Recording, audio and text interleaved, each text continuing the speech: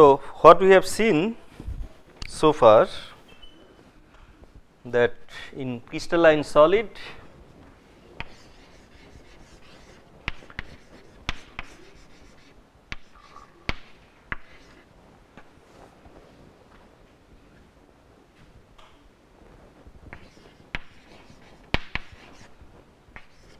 in crystalline solid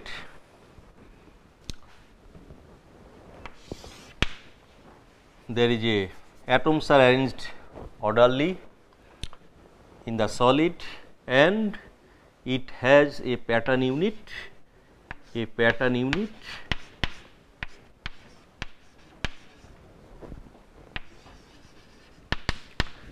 and repetition of this pattern unit basically from the crystal structure. Now, we want to we want to learn we want to find out that how many pattern unit are required to describe crystal structure of all materials right? So, in this regard an eminent French mathematician French mathematician.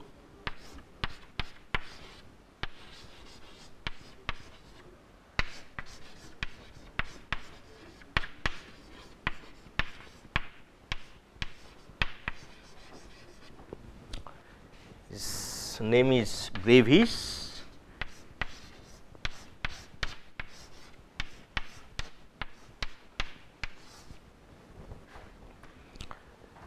he introduced a uh, concept of lattice, concept of lattice.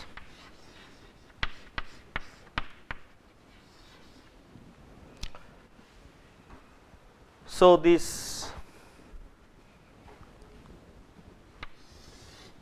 this lattice is basically is formation of lattice is basically mathematical concept. So, what is that? So, basically if we imagine that that a infinite number of points infinite number of points are arranged in space.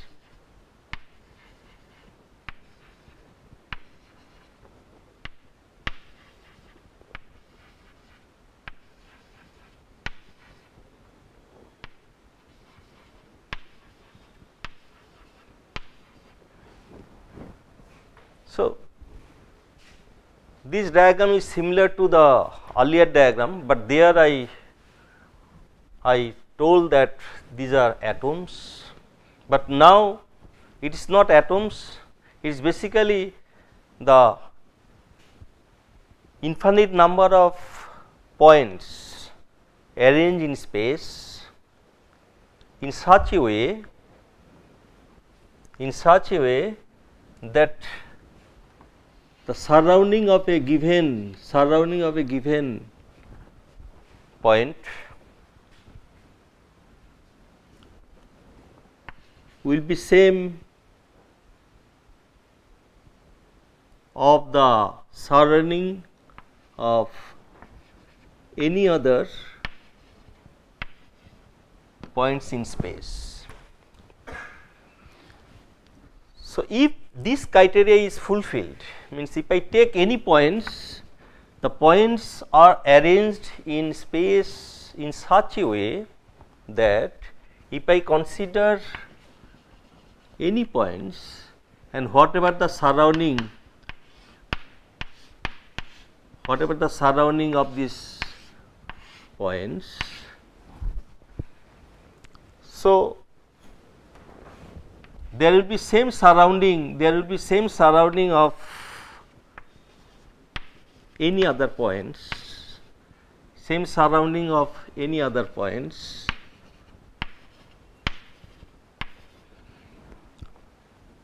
So, if I take this point.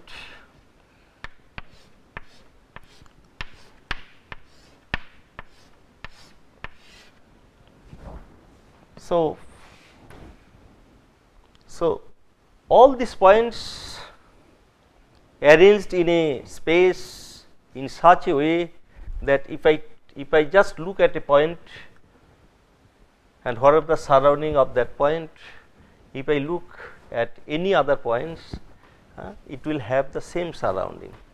If so, if arrangement is so in space, then this each point is called lattice point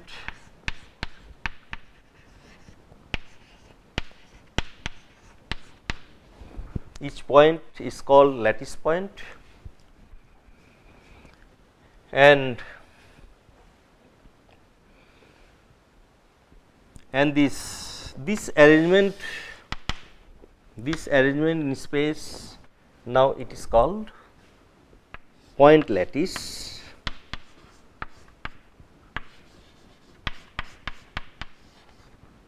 or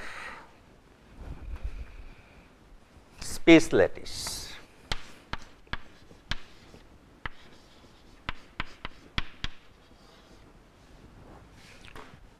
Okay. So, this purely mathematical concept just take hundred thousands and thousand points and arrange in space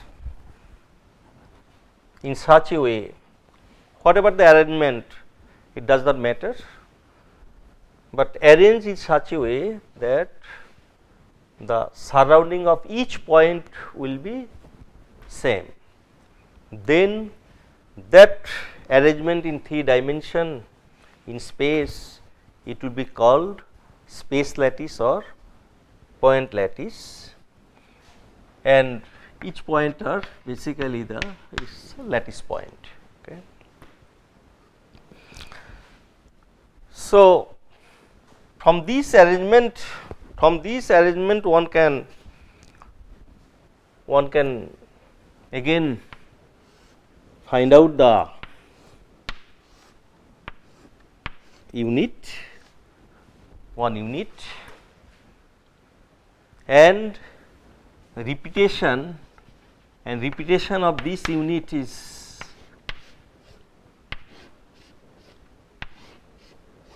so it, it is in two dimension. So in three dimension one can one can find out this unit. So then this unit is basically is called unit cell. This unit is called basically unit cell so whatever earlier we used to tell this pattern unit now we are telling we are calling it as a unit cell. Unit cell okay. So pattern unit clearly uh, we told that is basically we talk in terms of in terms of atom but here we are talking in terms of some uh, points in space okay so here also these points are orderly arranged in space and one can find out the unit repetition of which can form this uh, uh, point lattice or space lattice. So, in three dimension this uh, it's uh, one can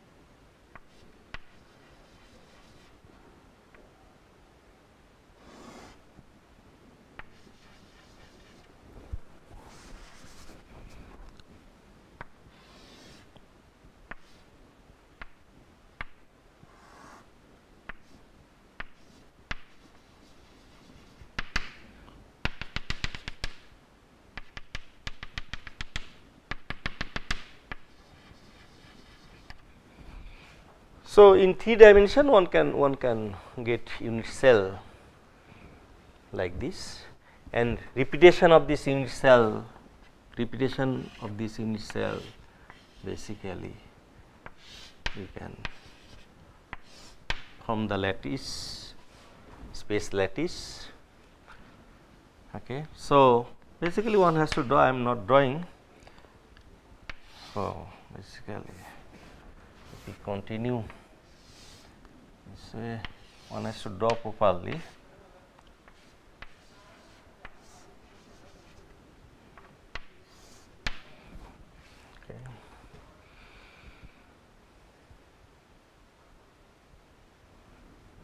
Okay, so just one can repeat in all directions, in all directions. And uh, get the uh, get the point lattice or space lattice. Okay. So, so how to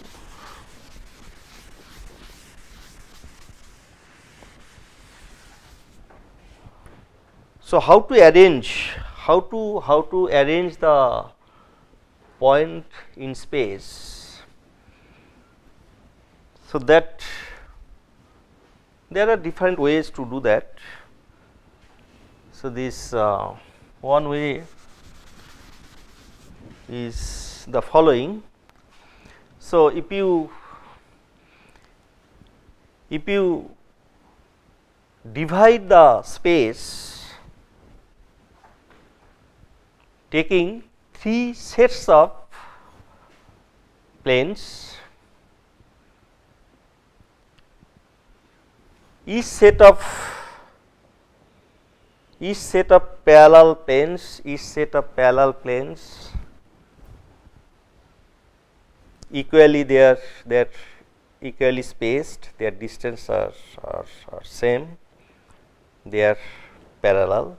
So, this is one sets of parallel planes divided the space and then another set of parallel planes they are also equally spaced and parallel, but their distance may be this planar distance may be different than the earlier one. Here whatever planar distance in this other direction planar distance can be different, but in this set of parallel planes they are equally spaced and other sets of parallel planes other set of parallel planes. So, they are also again equally spaced and parallel, but their planar spacings can be different from the other sets of parallel parallel planes. Okay. So, if you divide the space taking three sets of parallel planes.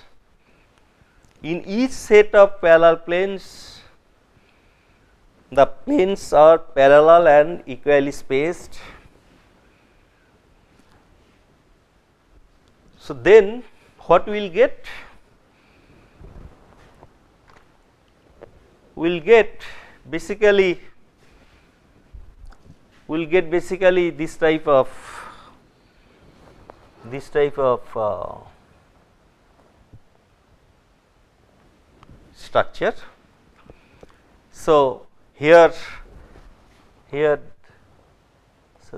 these are one set of parallel planes they are equally spaced this another set of parallel planes they are equally spaced and these are other set of parallel planes. Okay. So, this way. So, they are uh, parallel and equally spaced.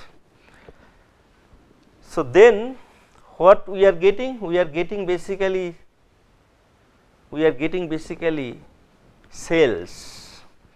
We are getting basically this whole space is now whole space is now uh, divided into uh, into many cells and these cells are all cells are equivalent identical, their size, shape are identical. Okay. So, so now corner point of each intersection,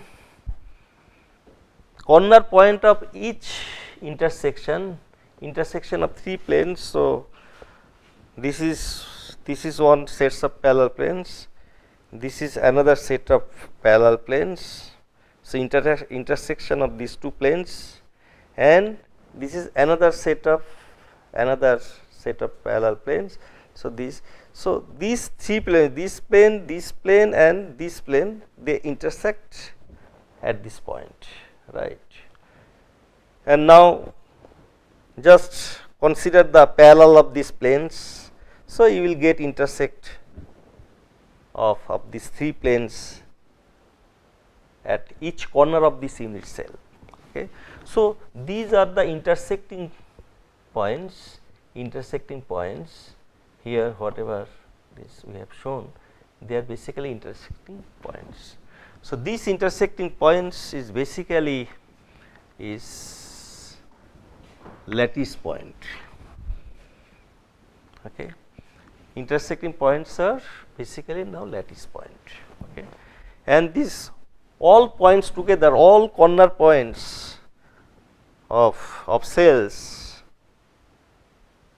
basically forms the point lattice or the space lattice.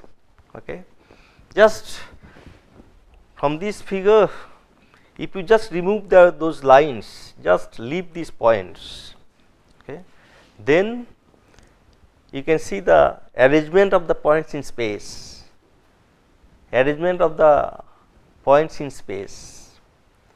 Okay. So, that whole arrangement in space is basically called the lattice. The space lattice or point lattice we, we just call the lattice. Okay.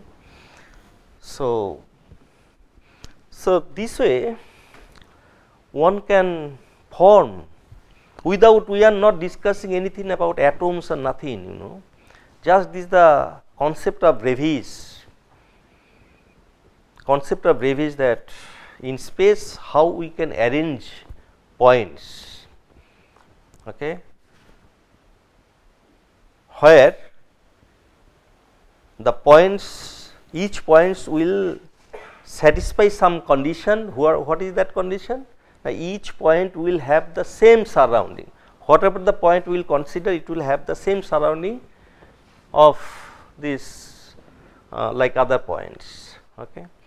So, so this is one way to form the this is one way to form the lattice point in space and we can get the unit cell we can get the unit cell from this arrangement of the uh, lattice point. So, now, now this arrangement of the lattice point it can be different depending on the depending on the spacing of the parallel planes in each set So, three sets of planes. So, three sets of planes okay. in each set of planes there are many parallel planes. So, they are spacing, they are spacing whatever the spacing another set of parallel planes their spacing may be different. So, so, spacing of these three sets of parallel planes can be same, can be different etcetera etcetera. Two are same, one are different and also also these parallel planes a set of parallel planes how they what is the angle with the another set of parallel planes whether this angle are 90 degree this is one sets of parallel planes another sets of parallel plane is this. So, so if it can be 90 degree it can be other than 90 degree. Okay. So, basically here important is the spacing of the spacing of the parallel planes for three sets of planes and angle between the uh, between the planes among the three sets of planes. So, that can be that can vary. Okay. So, depending on this angle and the spacing of three sets of planes, one can have one can have different arrangement of, of, of points in space. So, that means it will form different point lattice or space lattice. Okay. So, to describe this one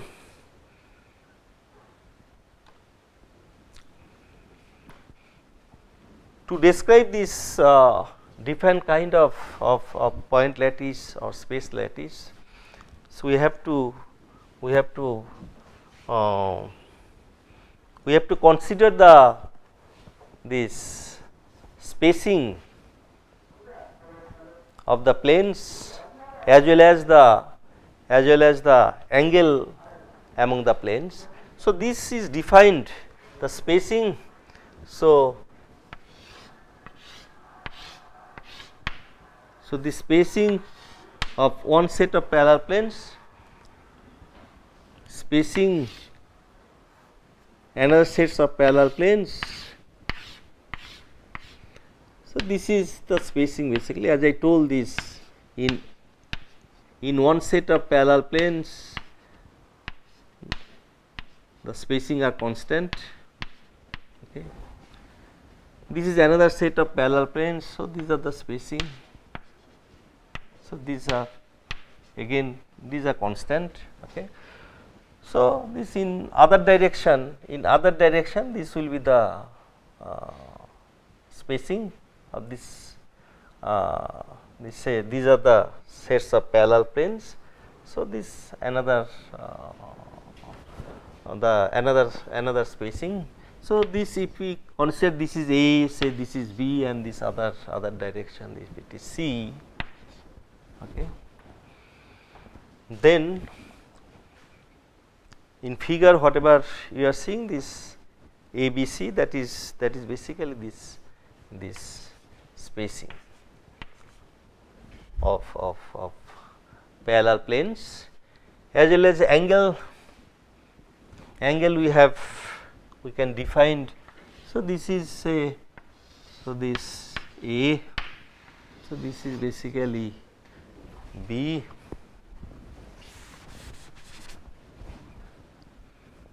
this is basically B and then your other direction in the other direction. So, this this will be other direction so it is perpendicular basically on this. So, it is C. Okay. Now, this angle angle is between B and C between B and C it is defined as alpha. Between C and A it is defined as a uh, beta and between B and A it is defined as a this angle as a gamma. Okay. So, Imagine that taking three sets of parallel planes, we can divide the whole space, right, depending on the spacing of this uh, spacing of each spacing of planes in each set. Okay. So, for three set the spacing are A, B, C and the angle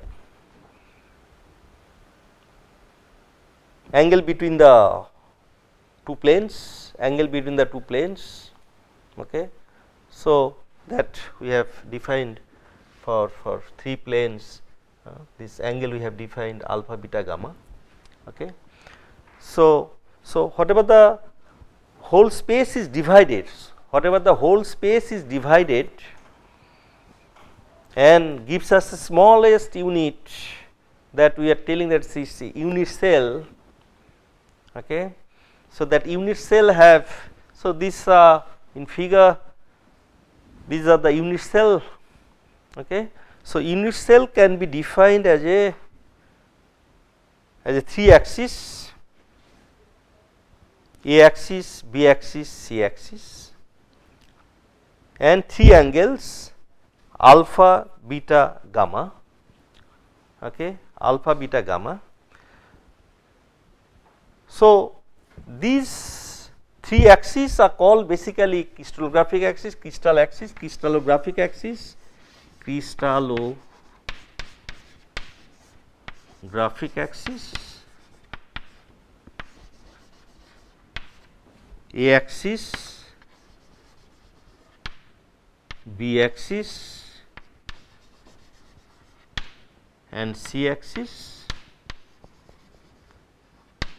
right and the angle and the angle alpha beta gamma and the angle alpha beta gamma this uh, among the among the three axes okay alpha beta gamma so so along the x axis along the a axis whatever the minimum distance between the two points, minimum distance between the two points.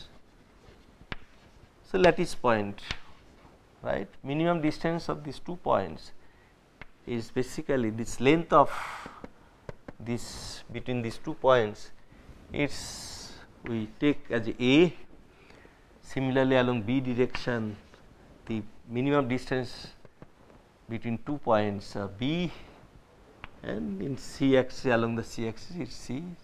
So, A B C and this angle between angle between uh, B C it is alpha other is beta and this gamma. Okay.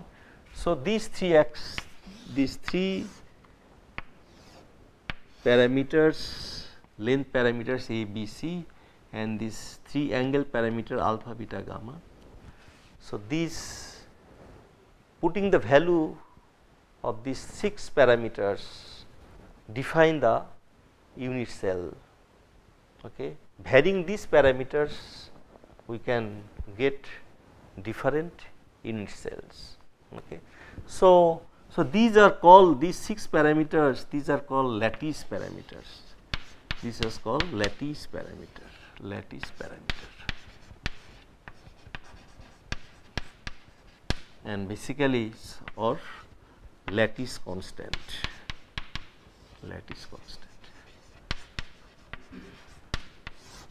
Okay. So for each lattice for for each lattice these parameters are whatever the parameter uh, that will vary and we will get different uh, different unit cell uh, for different space lattice.